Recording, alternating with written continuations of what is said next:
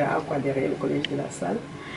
Donc, I am motivated to strengthen work relations with my collaborators because this ends the company efficient results. Workers must smile every day, though workers are heady many times, but we do all to manage different behavioral trends. Bon, Improving the liaison between workers and employers is an increasingly popular attitude in most workplaces across the globe. 10:30 a.m. October 16 in Cameroon's economic metropolis Douala, this atmosphere welcomes you to a littoral-based enterprise. The boss is working hard to step up the figures of the company, and the employees on your part are engaged to speed up productive results.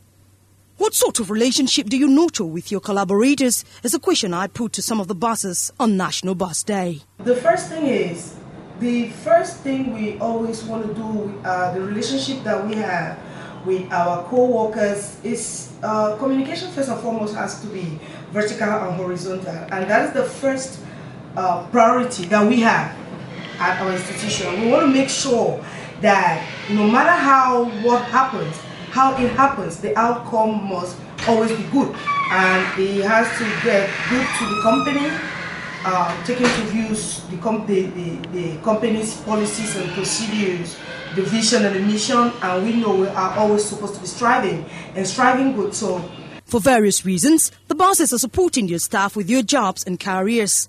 A short discussion with the collaborators on what they do on daily basis to show gratitude to your bosses for the problem-free relationship nurtured met me with these answers. I really love my boss for all what she's doing. She's a caring mother and also a caring boss for me. And since nine years, I can say we are working together and we have good relationship. Yes. And as often as possible, I'm telling her thank you.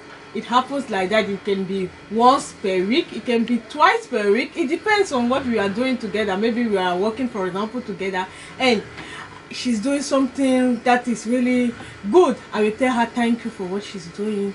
I obviously give that gratitude to my current boss because um, he has done a lot in, in terms of uh, you know um, the uh, physical and you know mental upbringing, you know, getting into the business world and all that. So he has, he's like a mentor, you know, in the business sector. So I get to say, I get to tell him thank you both physically, you know, by on phone. I tell him thank you all the time. Um, I equally tell him thank you in other ways, you know, by know, doing my best you know, to um, uphold the confidence he has on me. Yes, I'm comfortable working with TTC for the for the few months, three months that I've been here. He has really been treating us very well, and also the small small benefit that he has giving us. I'm really really comfortable, even though it's a, a small society, it's a small company. Man, there's really uh, you are really free. You are you are you are free. You are uh, there's peace. Um, there's peace, there's collaboration amongst the colleague. He always ensure that we should always collaborate amongst ourselves. So I'm really, really comfortable with the environment. Uh, so I always do my best to put in. Uh, I always do my best to put in effort so as to meet his objective, which is to make profit. Motivation, the bone of productivity in any enterprise, pushes Mr. Trier, like any reasonable boss, to oil and strengthen work relationship with collaborators. But how efficient can this be, sir? And I think motivation is one of the key factors. Some people they believe that motivating somebody or someone is just by giving him or her money. But just a simple thank you that you say to an employee for a job well done, it goes a long way in uh, creating like uh, success or even growth in enterprises.